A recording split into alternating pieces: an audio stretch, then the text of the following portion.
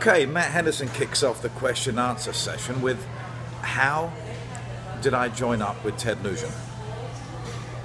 Well, that was because I was writing songs for another band in England and I was sending songs off to Atlantic Records every week. And um, basically, they didn't like my songs, but they liked my voice.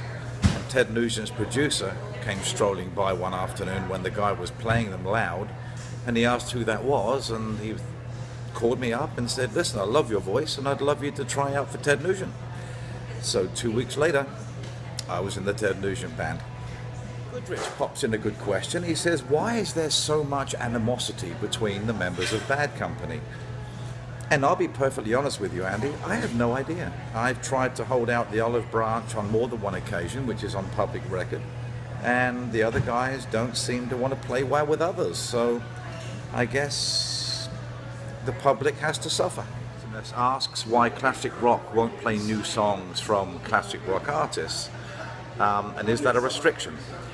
Um, yes, it, it, can be a restriction, and, and it's, but it's obvious that they believe that the older hits are a staple diet of the American culture, which I guess they are.